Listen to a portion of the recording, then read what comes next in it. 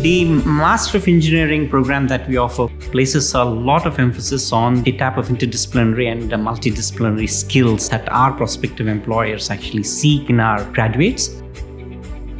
And this is something that we have embedded very successfully in the classroom the Master of Engineering offers um, majors in uh, civil, electrical, and uh, mechanical engineering. Students have an opportunity to spend a lot of time practically in several types of laboratory based environments.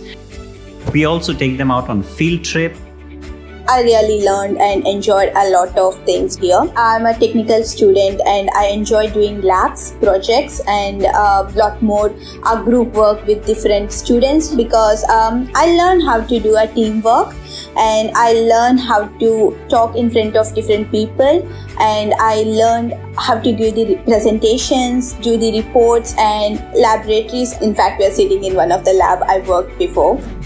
The Master of Engineering is delivered by a group of academics who hold PhDs in their chosen disciplines.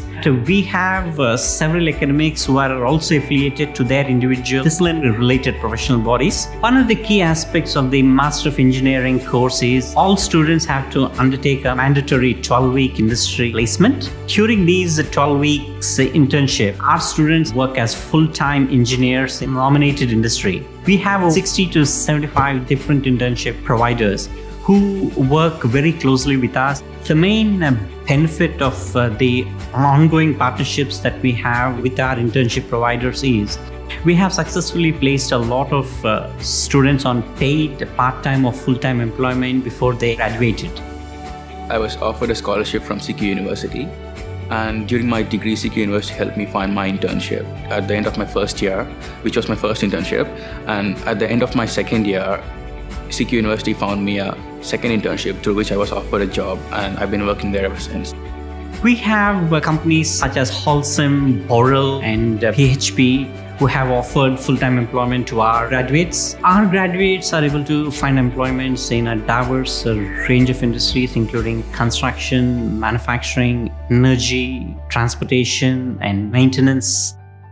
As a mechanical engineer, I always want to look myself as a leading engineer in an organization where I can uh, plan and develop certain projects which is useful for the real world. And if I want to take up a project or if I'm designing something, I always want to see how useful it is to the world and for the sustainable living.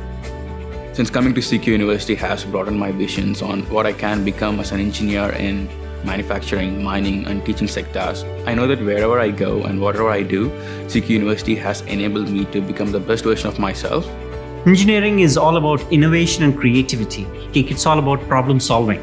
So, till one understands what the problem is, the problem cannot be solved.